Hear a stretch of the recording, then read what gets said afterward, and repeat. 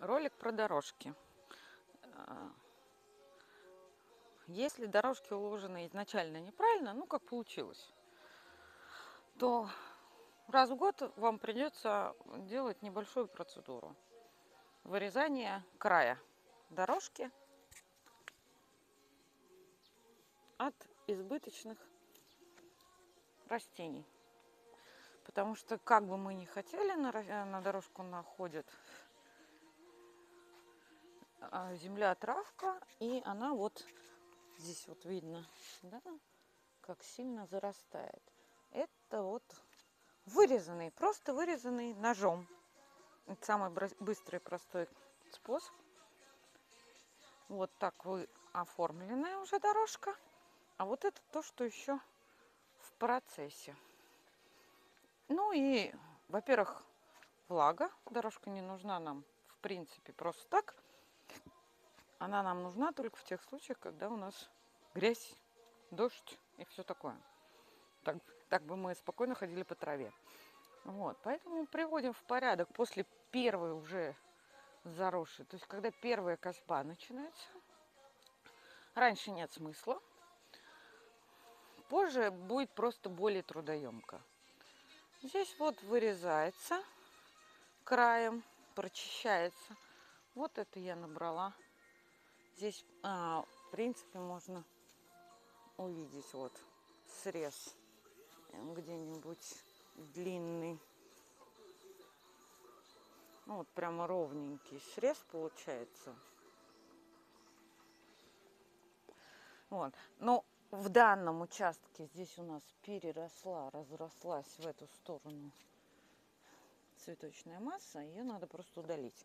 Этот цвет красивый, но при мокром варианте мы ходим, и здесь мы будем мокрыми шевелить, и, соответственно, будет. Вот здесь вот, для такого достаточное расстояние. Где у нас маленькая трава, мелкая, вот здесь я в данном случае подсеивала чисто кашку, я здесь убираю ну, маленькое расстояние.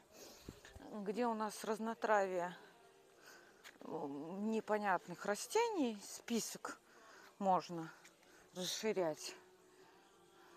Я делаю пошире, а, дольше не зарастает. Белка, привет. Ты тоже любишь чистые дорожки? Ну и визуально заросшая дорожка смотрится отлично. Никогда не поздно ее привести в порядок чисто технически. Ну и ничего страшного, если она заросла. Минус э, заросших дорожек, как я уже говорила про то, что мы ходим и мокрые. И второе, то, что слишком большая корневая система, которая на дорожках расположена, она а, выворачивает саму плитку при ее неправильной укладке. Она ее просто может начать сдвигать в разные стороны. Вот этот участок старой плитки был прочищен. А вот отсюда я еще не приступала.